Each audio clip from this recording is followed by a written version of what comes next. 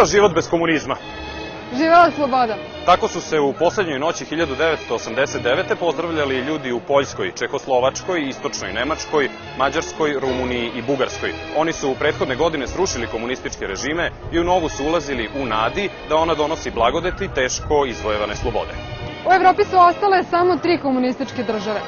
Savez Sovjetskih socijalističkih republika, Socijalistička federativna republika Jugoslavija i Albanija. Jugosloveni, Sovjeti i Albanci strepeli su od neizvesnosti.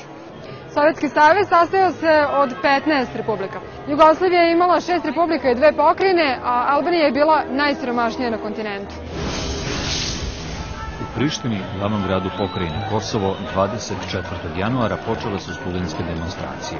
Povod je bila smrt jednog mladog Albanca u selu Aračinovo kod Skoplja, glavnog grada susedne Republike Makedonije. Studenti su tražili objašnjenje od vlasti. Kod Rahmana Morine, predsjednika pokrenjskog komiteta vladajućih Saveza komunista, pozvana je desetočlana delegacija. Ona je došla pred komitet u pratnji više od hiljadu kolega. Partijski vođa pokušao je da im se obrati, ali je izviždan. Masa demonstranata naglo se povećava. Policija ih rasteruje vodenim topovima i suzacem. Raštrkani po centralnim gradskim ulicama, demonstranti iznose političke zahteve traže ravnopravnost za Albance, referendum, višepartijski sistem i slobodne izbore. Čuju se i antisrpske parole. Bežeći pred policijom, učesnici demonstracija razbijaju izloge i kola. Istog dana izbijaju demonstracije u Prizrenu, Kosovskoj Mitrovici, Peći i drugim mestima. Neki predstavnici vlasti izjavljuju da su nemeri na Kosovu povezani s prekidom partijskog kongresa u Beogradu iako je očigledno da protesti nisu spontani i da su vođeni iz jednog centra, javnost ne zna ko stoji iza njih. Pitanje je da li to znaju i državne vlasti. U službi državne bezbednosti, kako se zvala politička policija, više nema Albanaca. Mnogi su otpušteni, ostali su sami napustili posao koji njihovi su narodnici smatraju služenjem neprijateljskom režimu. Time je policija izgubila i većinu doušnika albanske nacionalnosti. Srbi kontrolišu političku policiju, ali gotovo niko od njih ne zna albanski. Vlast je faktički ostala bez informacija o onome što se zbiva u albanskoj zajednici. Prvi put od kraja drugog svjetskog rata država je svesno okrenula protiv sebe 90% stanovnika Kosova. Ni danas, 20 godina kasnije, ne može se sa sigurnošću reći da li je ideja bila samo Miloševićeva ili je on postupao po nečim savjetima. Cilj nove politike bio je jasan, okrenuti Albance protiv države, primorati ih da joj se suprotstavljaju i na kraju dopustiti da se deo teritorije pokrajine odvoji od Srbije. Milošević ne može da zamisli Srbiju u kojoj živi 2 miliona Albanaca. Još manje može da zamisli da ti Albanci imaju ljudska i građanska prava kao i ostali. Doduše, njega zanima samo vlast, pa ne trpi nikad se pominju ljudska i građanska prava Srba.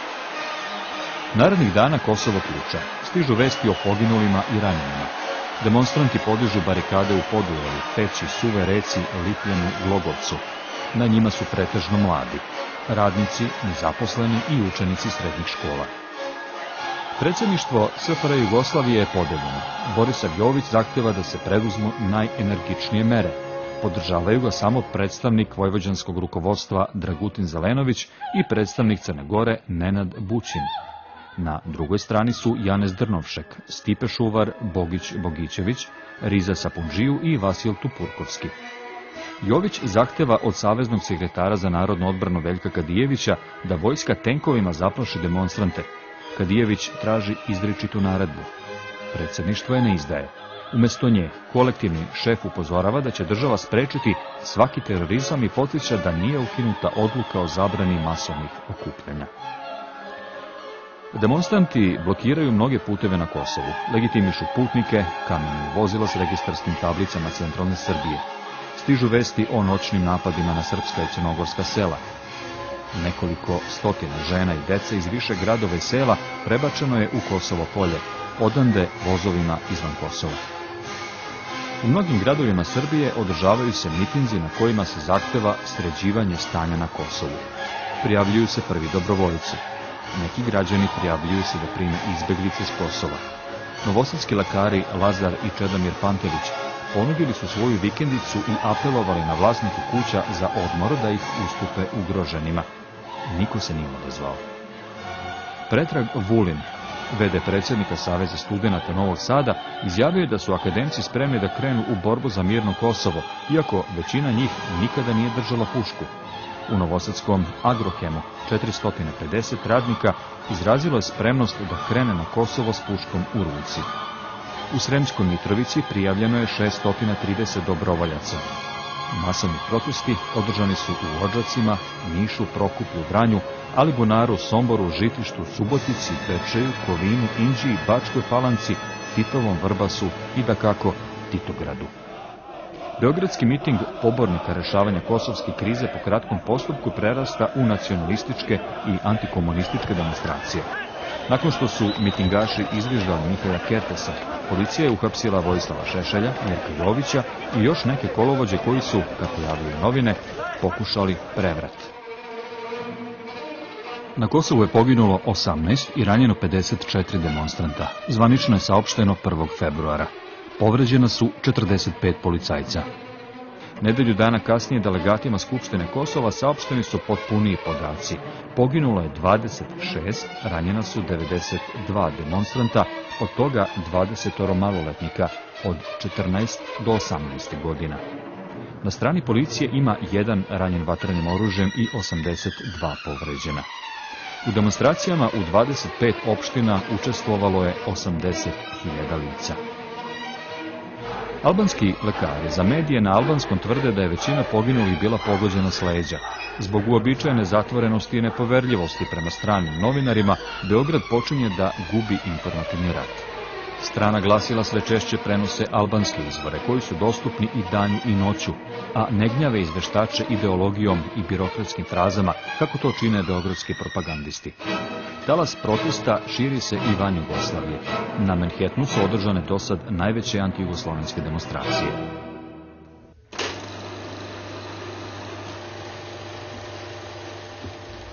I tako smo februara 90. godine organizovali okrugli sto o problemu Kosova, najpre u Mostaru, gde smo imali jednu od najjačih organizacija našeg udruženja za Jugoslovensku demokratsku inicijativu. Bili su predstavnici iz gotovo svih delova Jugoslavije, ali ono što je najvažnije, bili su i iz Prištine, predstavnici i albanskih i srpskih političkih grupa, koje još nisu bile jasno uobličene. Ubrzo posle toga nastavili smo okrugli sto u Prištini i na tom okruglom stolu bile su prisutne gotovo sve političke grupe koje su tada postojale na Kosovu, a i u Jugoslaviji.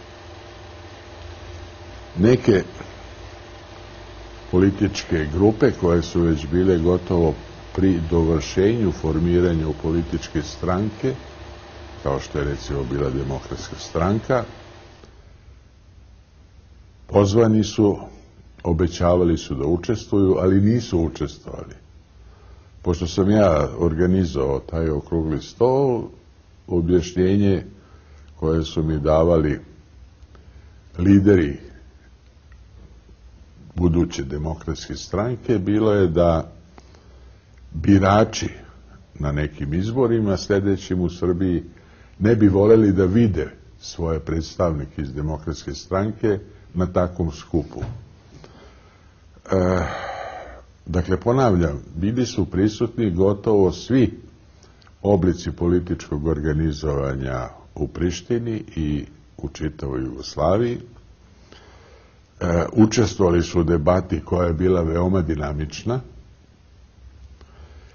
i ono što je rezultat toga e, okruglog stola jeste izbor nezavisne komisije koja je dobila zadatak od tog skupa da sačini jedan dokument o rešavanju problema Kosova. Za predsednika komisije izabran je poznati advokat Beogradski Srđa Popović. I ona je sačinila jedan izveštaj, jednu platformu je definisala za rešavanje problema Kosova, u kojoj jedna, jedno načelo, jedna ideja ima, verujem, trajni značaj, a to je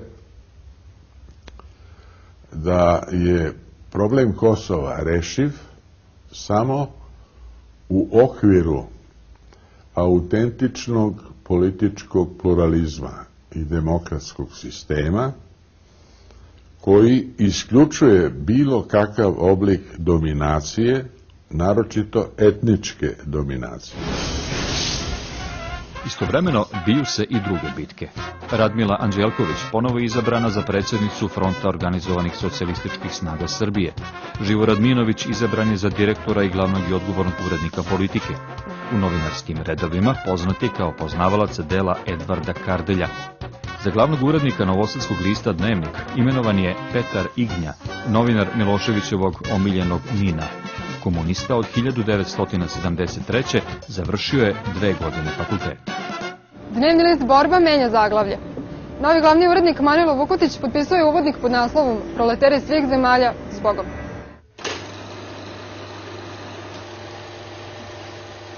Sećam se kako je u stvari pripremljen taj, taj uvodnik proleteri svih zemalja s Bogom i kako sam se ja makar u tom tekstu oprostio od proletera. Vraćam se negde knez kneza Miloša sa Nenadom Briskim, koji je tada bio urednik spojne rubrike i svi se mi kažem, slušaj, ovo stvarno više nema nikakve logike da ovo držimo. Proleteri, čast onima koji su to izmislili i Marksu i ovima što su to držali, ali od komunizma i od proletera nema ništa. I vratimo se u redakciju, ja počnem da to pišem, skiciram nešto, odvede me zadatak negde kroz redakciju, nekakva obaveza.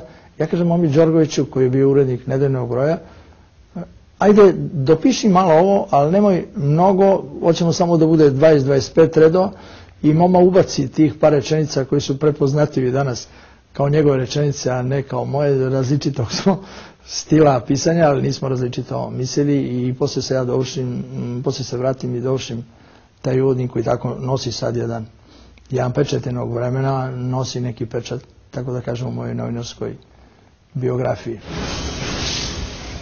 Nije sve politika. U Novom Sadu za dva dana prodato je 6000 televizora Samsung po 7000 dinara, odnosno 1000 maraka. Na Spen su otvorena dva pokrivena bazena. Ugostiteljski radnici širom jedinstvene republike štrajkovali su zbog plata. Za decembar su primili prosečno 700 dinara, što je 20% manje od proseka. Skupština Novog Sada izabrala je za gradonačelnika metalobrusača iz Jugoalata, Vladu Popovića, člana Saveza komunista od 74. godine. Na prethodnom izrašnjavanju građana, njegov protiv kandidat, dr. Lazar Ilić, dobio je više glasova. Posle dvogodišnjih priprema otvorena je slobodna carinska zona Novi Sad. Godišnja proizvodnja trebalo bi da stigne do 30 miliona dolara. 75% robe proizvedene u zoni ići će za izvoz.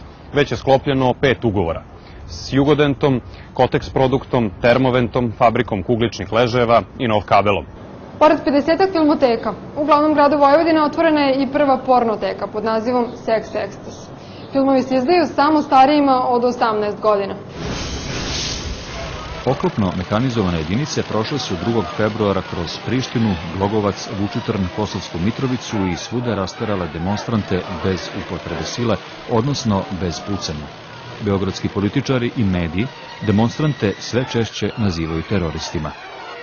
U Prištinu, radi smirivanja situacije, odvojeno putuju Janez Drnovšek i predsjednik Republičke vlade Stanko Radmilović. Prvi se sreće i s predstavnicima neregistrovanog Demokratskog saveza Kosova. Rukovodstvo Srbije nazvaće to još jednim dokazom njegovog anti-jugoslovenskog delovanja. Drugi preko televizije poručuje Albancima da ne nasedaju propagandi nacionalista. Iskreno i u dobroj nameri obraćamo se i građanima albanske narodnosti da ne nasedaju lažima i podmuklim rabotama albanskih nacionalista i separatista, čiji je jasan cilj da na perfidan, ali providan način izazovu ne samo nemire i demonstracije, nego i teške međunacionalne sukobe i krvoproliće. Srbija želi svim građanima Kosova mir, slobodu, bezbednost, ravnopravnost, demokratiju i prosperitet i mora biti jasno da će se oni koji hoće drugačije rješenje kosovske krize u smislu onemogućavanja da Srbi i Crnogorci mirno žive na Kosovu i ugrožavanja teritorijalnog integriteta Srbije i Jugoslavije sukobiti sa odlučnim funkcionisanjem pravne države koja to neće dozvoliti. Početkom februara na sednici predsjedništva Srbije Slobodan Milošević izjavljuje Naš dugoročni cilj je takvo rešavanje kosovskog pitanja koje će omogućiti mir, slobodu i ekonomski i kulturni prosperitet svih građana. Srbija angažuje sve snage kojima raspolaže kao država, a nastoji da takve iste snage angažuje i Jugoslavija. Naše je uverenje da će pravna država uspešno zaštititi i teritoriju i mir na Kosovu na način na koji je obavezna po Ustavu i da nećemo morati da skupljamo dobrovoljce za odbranu zemlje kao da se država raspala. Mi do duše imamo i to iskustvo i u takvim prilikama znamo da se ponašamo. Pogotovo danas kada imamo jedinstvenu Srbiju nema opasnosti da je neko ponovo baci na kolena. Tako verujem da do potrebe za dobrovoljcima neće doći. Međutim, ostatak Jugoslavije bio je umoran Kosova. U skladu s odlukom republičkog rukovodstva posljednjih 40 milicionera iz Slovenije napustilo je pokrajinu 4. februara. Komunistički poredak posustaje i u prvoj zemlji Sovjeta. Centralni komitet Sovjetske partije saopštava da više nije protiv višepartijskog sistema i privatnog vlasništva.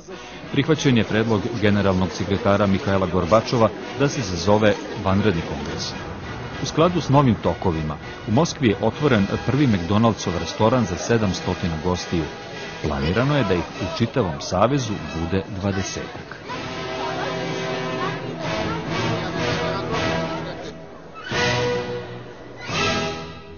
Bugarskoj se razgradnja starog odvija mnogo brže. Na vanrednom kongresu za novog generalnog sekretara vladajuće partije, sad već socijalističke, izabran je Aleksandar Lilov. Centralni komitet prekršten je u viši partijski savet.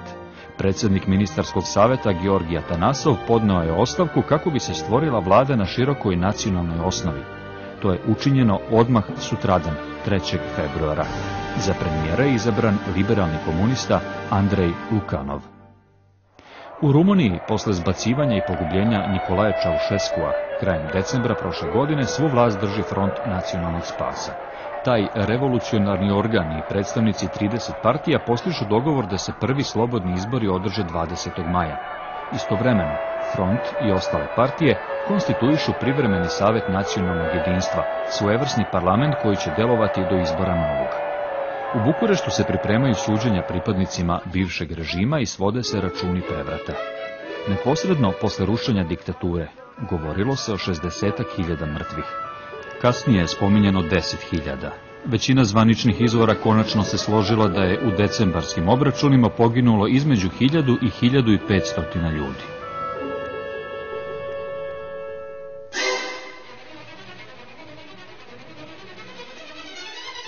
Sovjetski savez doživljava potres za potresom.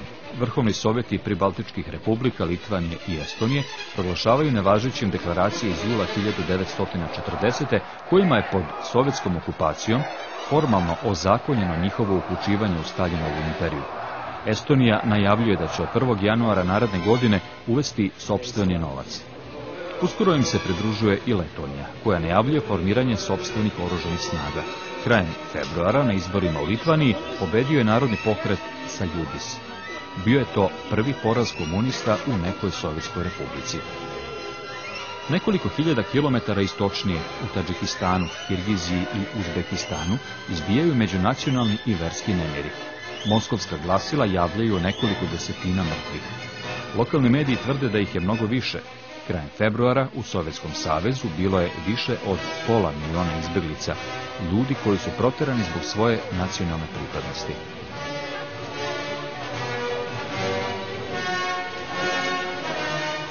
Centralni komitet Komunističke partije Ukrajine, druge po veličini Sovjetske republike, ocenio je da je situacija dostigla kritični stepen zategnutosti i izjasnio se za bržu izradu zakona o suverenitetu i samoupravi republike.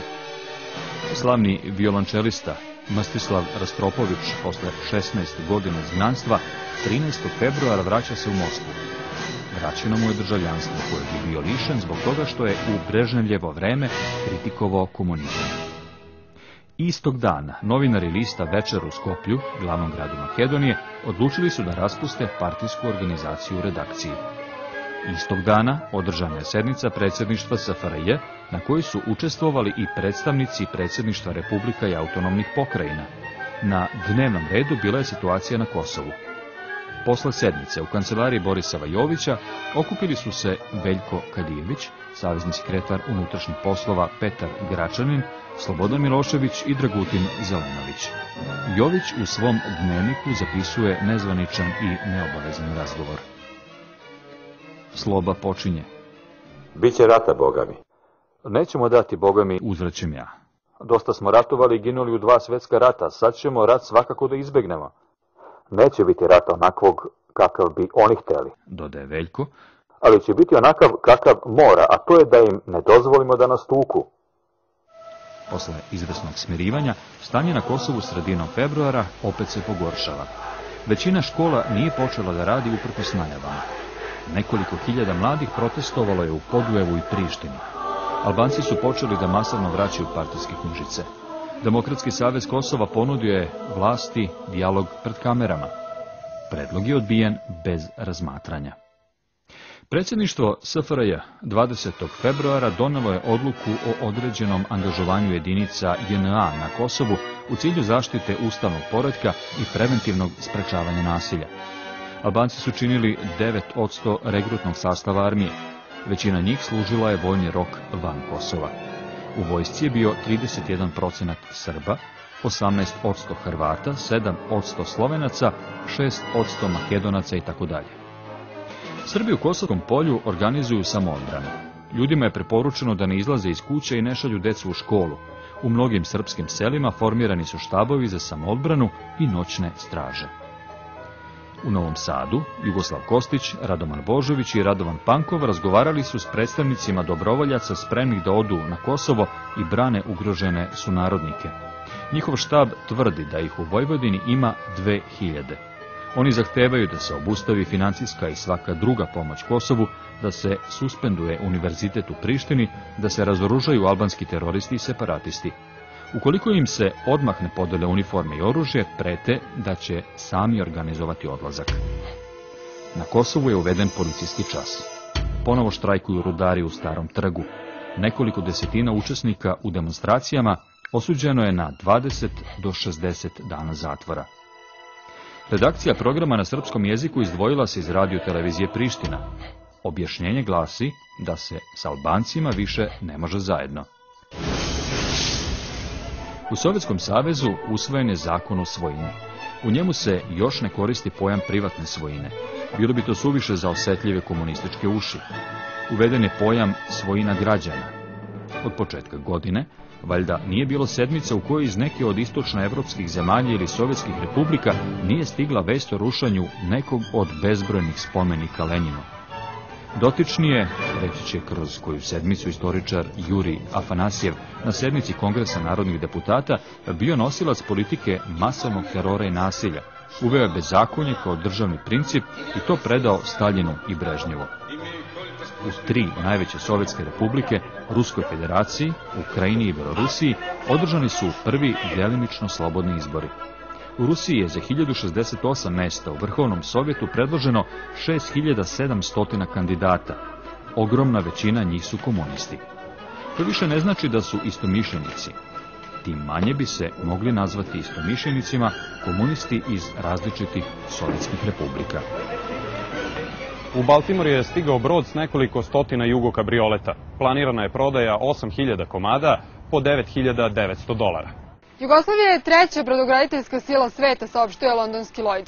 Ukupna nosivost brodova poručenih 1989. iznosi 31 milion bruto registarskih tona. Mreža vojvođanskih biblioteka uskoro će biti sasvim povezana modernom kompjuterskom tehnikom preko biblioteke Matice Srpske, koja je upravo postala jedna od karika bibliotečko-informacionog sistema SFRJ, javlja Novosadski dnevnik. Novinar oduševljeno javlja da se 270.000 šlajfni može smestiti na jedan kompakt disk. Ozvaničenje višepartijskog sistema podiže političku temperaturu u Hrvatskoj. U Kninu, na platovu ispred željezničke stanice, 17. februara osnovana je Srpska demokratska stranka. Za predsjednika je izabran Jovan Rašković, psihijatar iz Šibenika. Prvobitno je trebalo da ona bude deo demokratske stranke iz Beograda. Međutim, krajišnicima je neprihvatljivo što se Mićunović i gospoda u ovim prelomnim i istorijskim trenucima izjašnjavaju protiv rukovodstva Srbije. Sve rodoljubive stranke moraju podržavati politiku Slobodana Miloševića, smatraju kninske demokrate.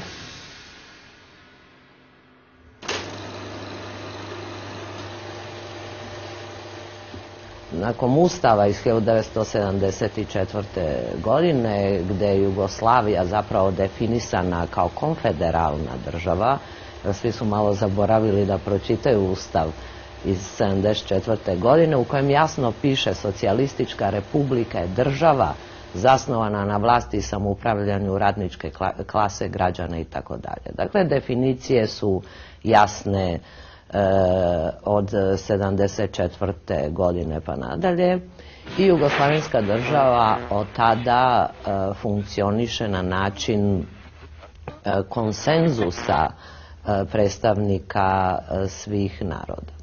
U, samom, u samoj ideji Jugoslavije nakon vrlo lošeg iskustva s centralizovanom državom u vreme kraljevine Jugoslavije E, se jugoslavenska država e, e, nikad nije zapravo i nije smela zasnivati na odnosu snaga, nego na jednakopravnosti svih.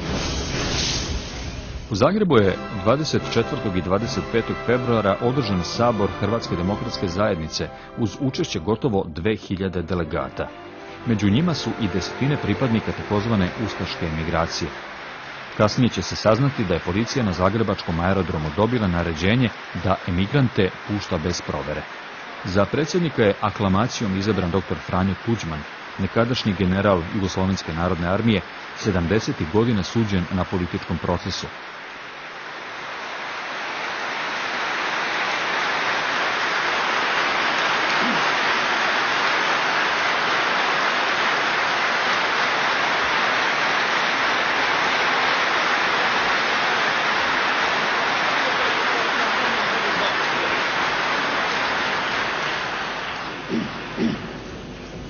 Dame i gospodo, štovani prijatelji, članovi Hrvatske demokratske zajednice, cijenjeni gosti, pripala mi je udio časna dužnost da objavim. Otvoren je i započinje radom prvi opći sabor Hrvatske demokratske zajednice. Izraženo je odlučno protivljenje svakoj centralizaciji na saveznom nivou koja ograničava političku i gospodarsku suverenost Republike Hrvatske. Ustavne promene i novi ustav, ističe ova stranka, mogu se donositi samo u slobodno izabranom Hrvatskom saboru. HDZ se zalaže za ukidanje društvenog vlasništva i za zaustavljanje odliva nacionalnog dohotka što ga Hrvatska izdvaja za nerazvijene dijelove Jugoslavije. Tuđman ističe Hrvatska je naša država i zahtevamo da je Srbi poštuju kao svoju domovinu.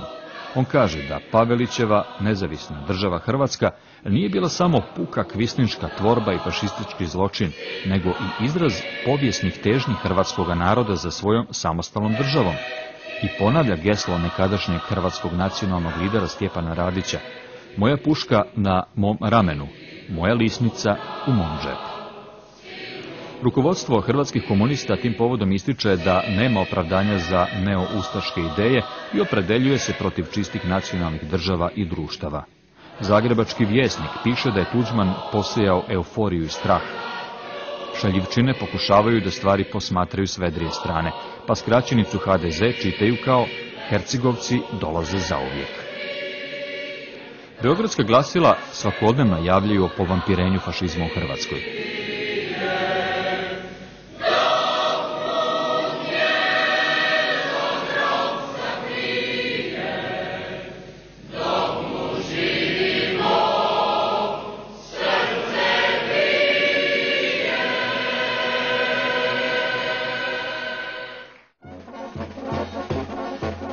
Desetak dana posle sabora HDZ-a na Petrovoj gori održava se skup snaga koje se izjašnjavaju za jedinstvenu Jugoslaviju.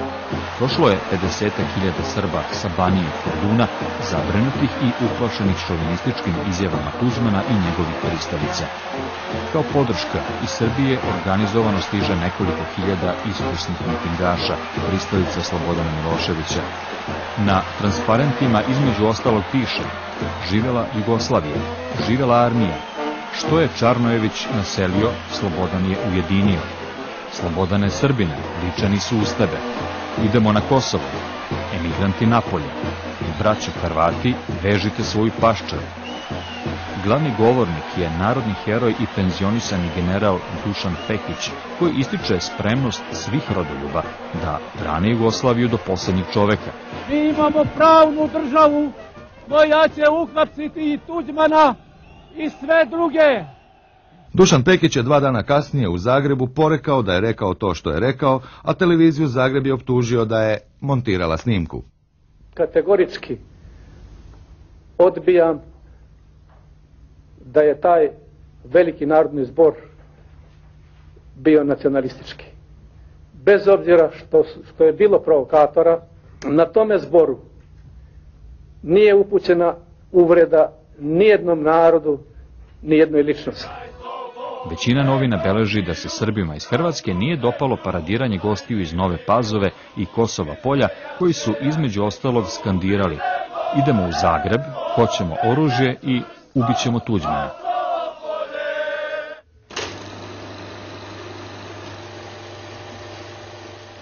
Bilo je elemenata da Srbi u Hrvatskoj budu nezadovoljni na načinom na koji su zapravo utopljeni u to većinsko stanovništvo.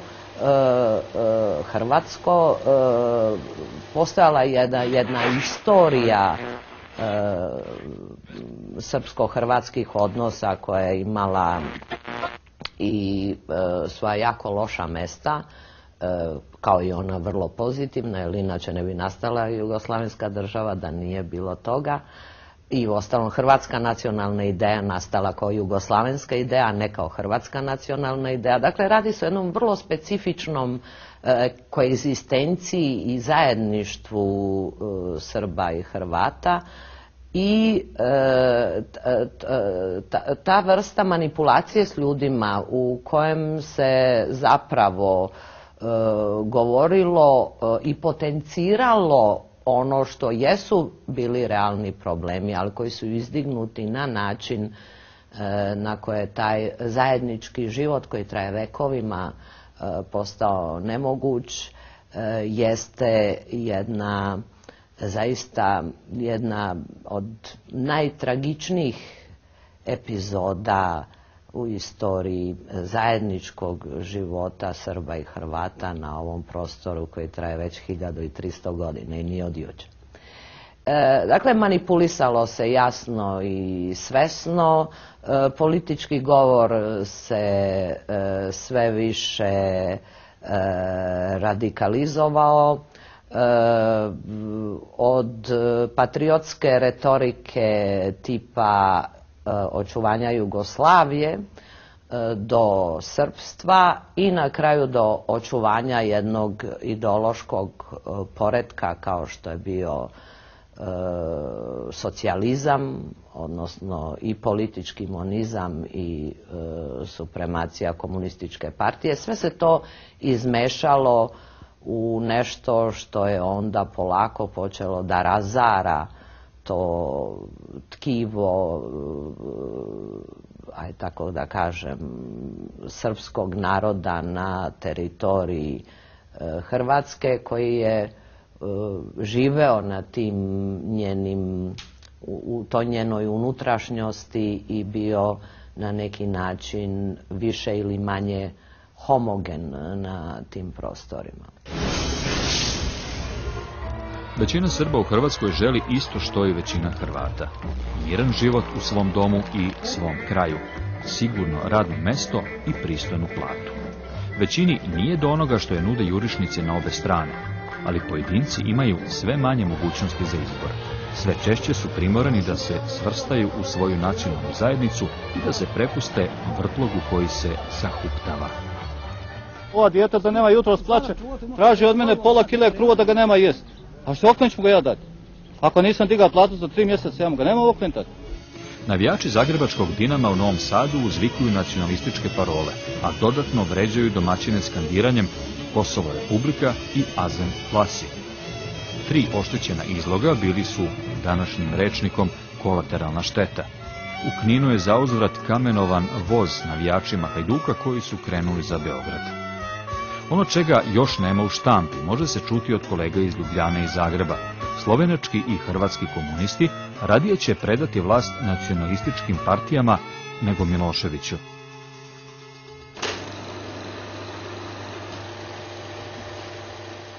Mi smo na ovim prostorima upali u jedno mitomansko interpretiranje istorije. Nama je žar bio izmišljanje tradicije i mi smo naprosto e, nalegli kad kažem mi mislim na e, intelektualne i političke elite koje su na kraju krajeva i odgovorne za sve ovo što se dešavalo, nalegli na priču da će se moći napraviti jedn, pomoću jedne nacionalne e, homogenizacije, moći uraditi država većih formata i okvira, okvira nego što su bile republike. I tu je taj problem. S jedne strane vi imate te znači e, aspiracije beogradskog političkog vođstva, srbijanskog političkog vojstva i s druge strane vi imate jednu, jednu ova, opet nacionalističku odbranu iz Zagreba da se pokuša sačuvati, sačuvati uh, uh, teritorija Republike Hrvatske i ako može proširiti na račun Hrvata, Hrvata u Bosni. I to je u stvari sukob te dve, te dve uh, ako hoćete po znakom navoda, imperialne ambicije i tendencije koje su se onda i e, nažalost na, na, na vrlo ružan i brutalan način e, e, sukobile sve dotle dok se nisu dogovorili u Karadžorđevu da to sve izmeste u Bosnu.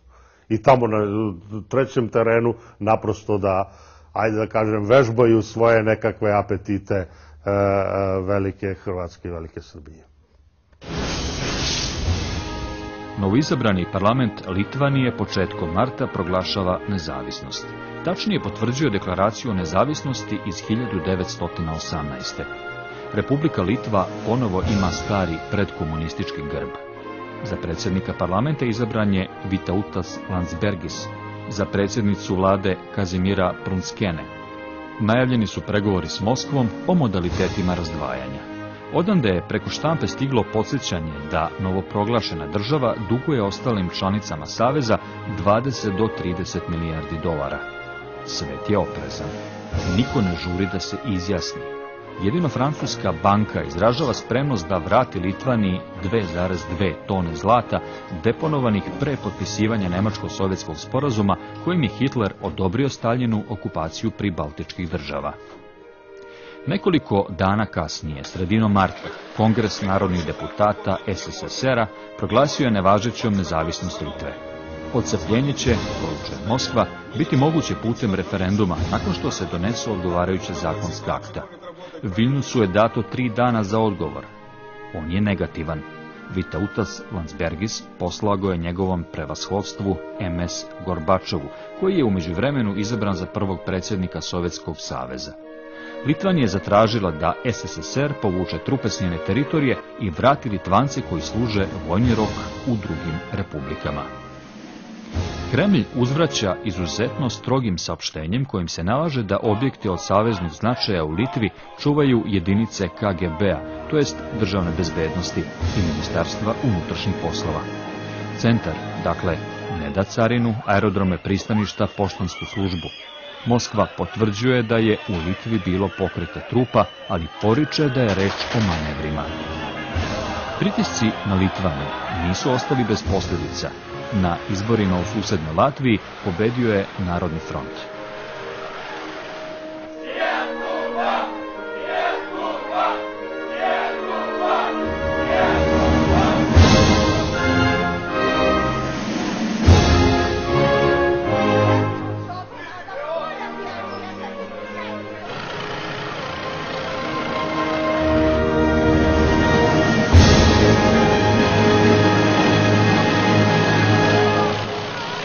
Počela je neka diskusija oko toga čim je pao Berlinski zid. Ja sam se vratio, a mi smo ranije u okviru ovog instituta za filozofiju i društvenu teoriju raspravljali već o tome je li da treba predložiti osnivanje partije ili krenuti pa da vidimo kako će vlast reagovati. Tu su uglavnom bili svi ljudi koji će kasnije učestvovati u političkom životu. Ovde Ljube Tadića, Mihajla Markovića, Svete Stojanovića, Đinđića, Čavoško, Koštunice. Tu smo bili, naravno, ja sam bio upravnik toga i instituta, i Zaga Golubović, i Trivo Inđić, i Nebojša Popov, dakle Vesna Pešić, svi su bili tu. Dakle, jer kad su nam stvorili taj geto, onda smo mi angažovali sve progonjene intelektualce iz oblasti filozofije i društvene teorije i napravili jedan institut koji je bio najveći u zemlji i najkvalitetniji. Moje dva akademika, 20 doktora, dakle to je bila vrlo ozbiljna ustanova koja je štampala desetine knjiga godišnje. Tada je bilo više predloga. Jedan je bio da se stvara socijaldemokratska partija, drugi je bilo da se stvara demokratska partija, jer je već jedan antikomunistički naboj se pojavljivao i sve što je socijalno ili socijalističko bilo je na neki način žigosano i tvrđeno je da neće moći to kod građana da bude prihvatljivo. Tako je na kraju jeli, birano i s obzirom da je demokratska stranka u predratnoj Jugoslaviji kod Ljube Davidovića i kasnije Grola bila jedna progresivna partija, onda smo i sa jednim moralnim kredibilitetom odlučili nek da to ime uzmemo i na taj način da se ta partija tako nazove. Višepartijski sistem ponekad biva smešan. Recimo onda kad Centralni odbor Srpske narodne obnove saopšti da je iz stranke isključen Vuk Drašković, a sutradan stigne ispravka u stilu Radio Jerevana, isključen je u stvari Mirko Jović. Drašković je izabran za predsjednika. E, momci iz Srpske narodne obnove će brzo doći u sukob sa mnom, jer oni su taj program razumeli na jedan drugajačiji način, došlo je do oštroga sukoba. Ja sam shvatio da je vreme učinilo svoje, da postoji jedna nova realnost federalnih članica Jugoslavije i da zapravo moramo odustati od toga programa srpskih zemalja, što je ishodovalo mojim isključenjem iz Srpske narodne obnove, koje e, se desilo 12. marta 90. godine. U Kninu razbijen kiosk vjesnika. U Splitu za uzvrat miniran kiosk borbe. Dnevne novine koštaju 7 dinara, a RTV pretplata 135 dinara. U Novom Sadu je rođena prva beba iz Eprovete.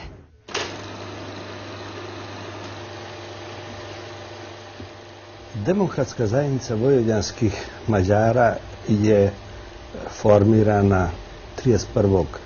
marta 90. godine, ali smo sa inicijativom krenuli već u 89. godini, tamo krajem ili u drugoj polovini decembra.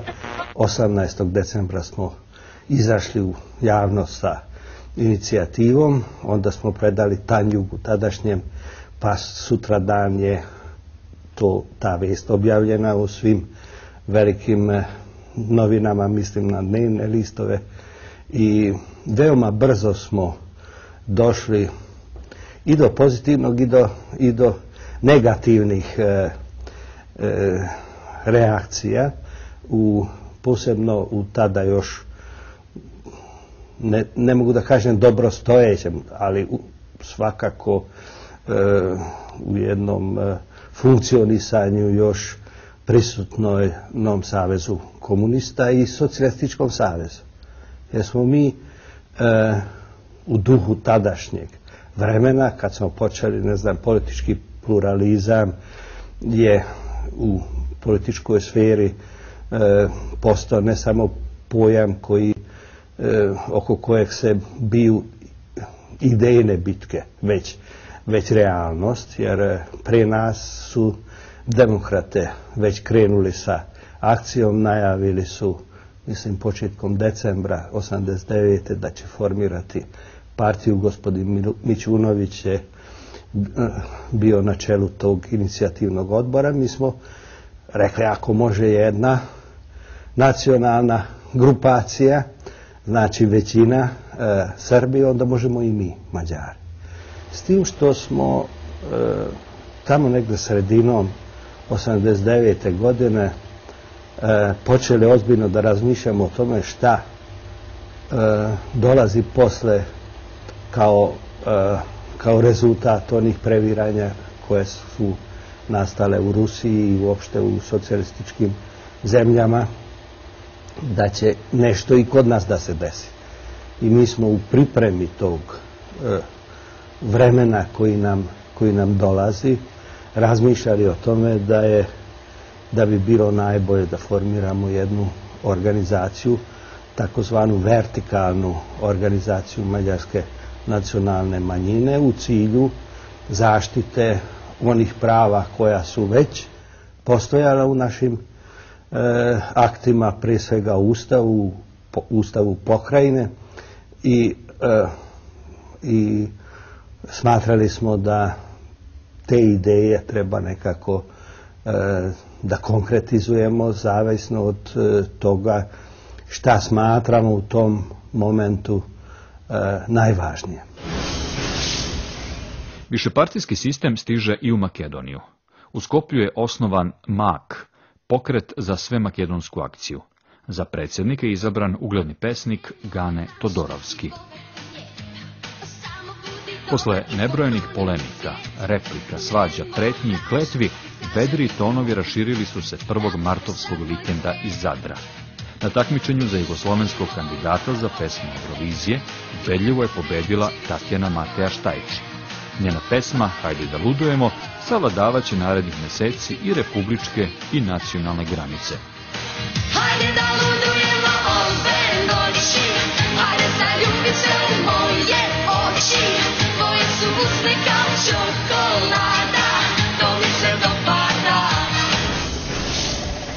Sve pokidanije veze između Ljubljane, Zagreba i Beograda privremeno obnavlja i brazilska grupa Kaoma. Ne smeta što je njen najveći hit Lambada nastao iz reklame za damski donji veš. Naprotiv, dok roditelji lude od političkih strasti, mlađarija luduje uz muziku.